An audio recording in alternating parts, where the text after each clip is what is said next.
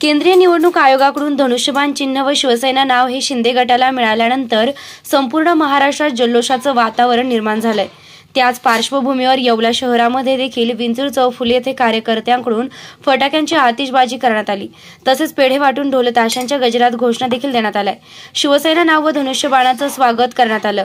यावेळी विधानसभा प्रमुख येवला विधानसभा अतुल पालवे अतुल घटे माजी नगरसेवक झांभव जावळे मयूर लकारे अमोल दाणे प्रतीक पुणेकर गणेश ठाकूर सौरभ आदींसह कार्यकर्ते उपस्थित होते. स्टार टू महाराष्ट्रासाठी साकीर शेख येवला.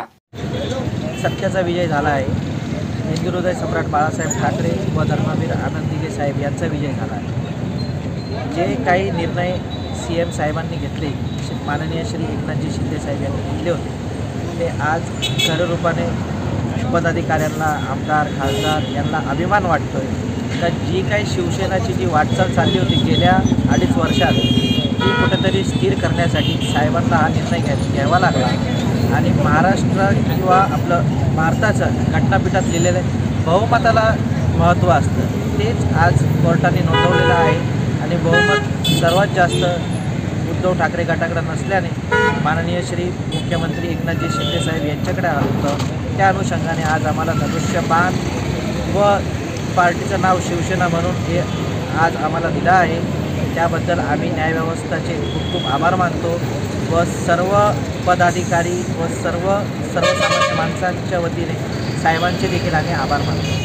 आणि आत्ताच तुम्ही बघितलं असेल तर आम्ही आत्ता फटाकड्या फोडल्या एक दुसऱ्यांना पेढेही भरवले. अतिशय हा आनंदाचा क्षण आहे. कित्येक वर कि सहा ते सात महिने झाले या प्रश्नाला प्रलंबित होता हा प्रश्न.